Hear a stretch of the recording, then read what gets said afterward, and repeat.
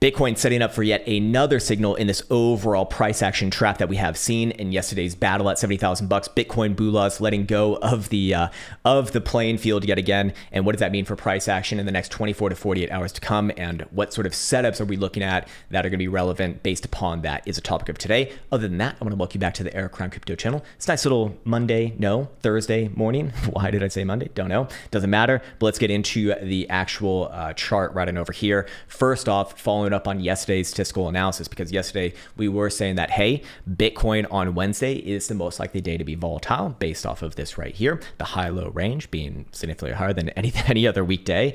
And then on top of that, we were looking at the average returns for Wednesday, which was just below 4%. Now that, that number has moved down now because Bitcoin's uh, returns yesterday were, you know, obviously a little bit more on the lower end, um, bringing that average down. But we can once again look at this as a good sort of range identifier from yesterday's open to that almost 4% move to the upside, you know, that was Bitcoin's high just around 70,000 bucks. Again, another good indication that, hey, looking for a scalp play around that region, it's typically it's typically going to work out in your favor. Not always, not always. I'm sure that I'm going to get you know a shit ton of hate when that inevitably does happen.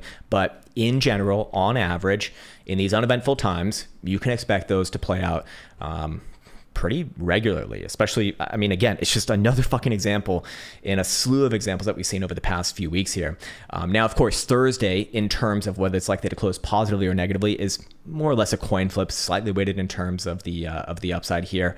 Um, but when I look at the average gain versus average loss, we can once again likely get the range for today, and um, and also it's actually quite revealing in terms of uh, it, you know in terms of the other side, which I'll cover in a second. But first things first, average uh, percentage loss for Thursdays has been about 164. That's actually around the current low of the day. So is it possible that we've already seen the low of the day? Yeah, definitely possible. Also implies that if we do see closures kind of lower than the wick, uh, than, than where the wick is right now, or anywhere below yesterday's low at 67,000 bucks, you're likely looking at a you know the beginning of, uh, of a trending move. Uh, in this case, to the downside. Now to the upside uh, average returns been about just under 2%. And that's actually very revealing here because if Bitcoin were to play out about a 2% move to the upside, that'd put it in the mid 69s, which is very, very important. Remember this information for a little bit later in this video, but what it should be known is that even on, even on the average return today, Bitcoin would not trade above yesterday's high. And in fact, probably the most um, the the most simplistic version of analysis I can give you right now is that look, if Bitcoin trades back above yesterday's high, probably in the clear, probably ready for this one to continue sideways and up from there. Maybe not necessarily in the same day, but overall, very, very likely, yes. In the case of Bitcoin coming back down below yesterday's low and certainly closing below yesterday's low, you can get ready for one of these, baby, some fuck action. very similar to what we saw during yesterday's price action. Bitcoin up a few thousand, down a few thousand, pretty much unchanged on the day. Anyways, it's enough of that guy right there. I love that guy. He's great. Um, anyways, moving on from there, I do want to once again follow up on some of the other signals that uh, have been occurring and that are now uh, also baking. Um, the two-day time frame continues to or did confirm its bearish divergence. Multiple drives right there. To be fair, yes, one of them is Phantom, but overall, um, that certainly going to be weighting things towards the downside. The three day time frame for CME is closing tonight, and this one will also confirm bearish divergence if Bitcoin closes here or lower, basically anywhere below 68,000 bucks on CME. That will be confirmed. And then the five day time frame, which is not closing tonight, but is closing tomorrow, is going to have a phantom drive right here. And in that case, probably going to be good enough to get this thing back down, um, you know, breaking these range lows, uh, maybe over the weekend, probably early next week. And at that point, you know, we can start talking about targets, which we'll get into at the end of this video, as well as a nice little announcement as well regarding the crypto school. Anyways, um, yes, we got that. We got that. Okay. I'm just making sure, um, I'm just making sure everything's good to go there. You know, I mean, one of the most obvious ways of just getting targets is looking at the three day 21 exponential moving average based off of that bearish divergence. I mean, that's going to be a pretty natural magnet shouldn't say magnet. I, I, don't like that terminology, but you know, somewhere around there um, at the very least. Uh, anyways, moving on from there, we should also cover stochastic momentum because there are a few new developments here. Daily time frame continues on with its heavy downside momentum as long as Bitcoin's below 71,600.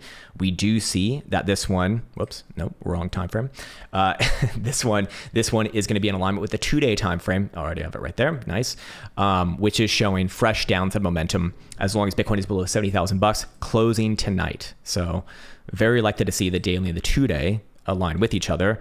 And if we go to the three day, guess what? That one's also closing tonight. And any sort of closures below 68 4, uh, 450, that one turns down as well. So you got the daily, two day, three day. What about the five day? Not closing tonight, but closing tomorrow night. Will turn down below 67,800 okay, if we see all of those things in alignment with each other, that is kind of like the stars aligning. And I, I really would be expecting Bitcoin to make a, a nice little leg down here um, into the lower portion of the $60,000 territory. Again, five day and weekly confirmed tomorrow, daily, two day, three day, all tonight. So one before the next, obviously, and uh, that would be quite damning, um, at least in at least as far as short-term price action goes. I want to reiterate my overall stance, though. I don't. I ultimately think that this is going to create another opportunity here, um, and I don't think that Bitcoin's going to make new lows below its current uh, low, um, which is I don't know 56, 57,000 bucks, something like that. Um, but you know, can come down significantly percentage wise. Um, so fair enough. Anyways, moving on from there, I do want to get into the HPDR bands, and I should let you know that the two-day time frame, again closing tonight, is going to have a chance to actually break below and close below the median here for the first time since uh, mid-May. And at that point, just another thing that does suggest Bitcoin very likely comes back down to 64,000 bucks.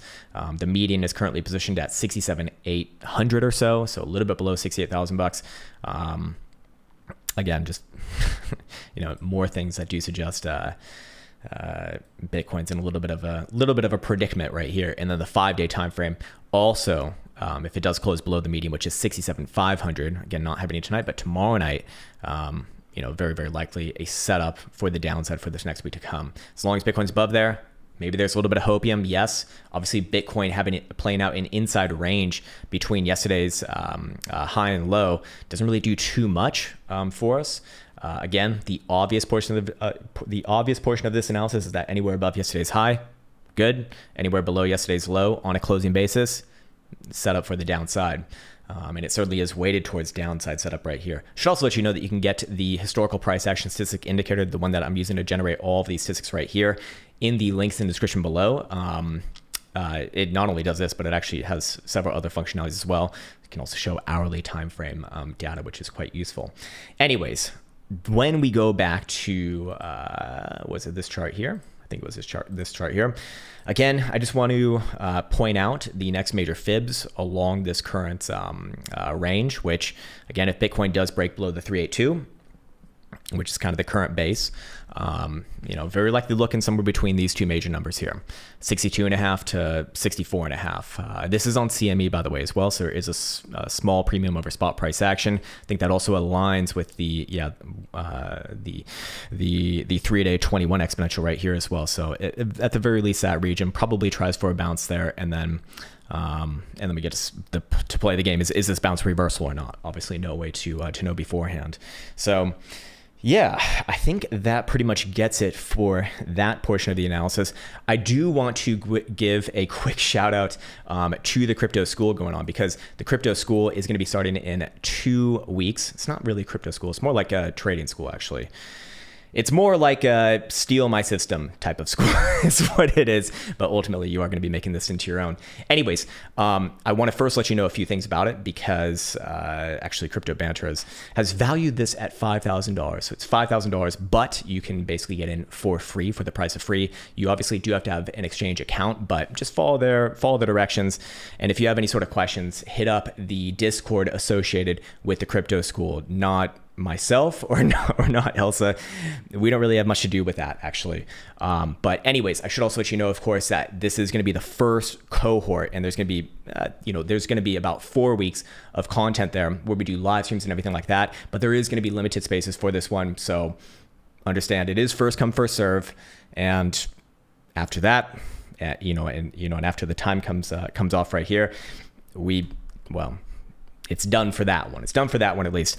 But of course, you know the you know the real purpose of this uh, you know of this program is to show you what a working strategy looks like and show you how you can set it up for yourself because we really want to avoid that fucking dastardly position where you're asking yourself, what should I do? There's actually a great question in the in the in the Discord earlier today with this person kind of outlaying their investment decisions over the past uh, couple years. and um, and at the end of the day, you know what what does it come down to? What was the actual issue? They didn't have a plan, so they don't know when they're supposed to buy, sell, or get out of the damn position because it's going to get much much worse. And so that's the problem that we're trying to solve here that's the problem that we are solving here. Um, and you know, if you're that kind of person, which I've certainly been myself in the past, then that hopefully is going to be of value to you. Anyways, that's where I'll end it on that one. There's already, there's actually already like thousands of people who've already signed up for this, which is fucking crazy, which is fucking crazy. Um, but uh, but yeah, very much looking forward to it, and uh, and that'll that'll start officially in the next 14 days. Um, and you can sign up in between now and then. So I'll end things on that note. As always, I want to wish you the best of best. Take care, much love, and see you hopefully tomorrow.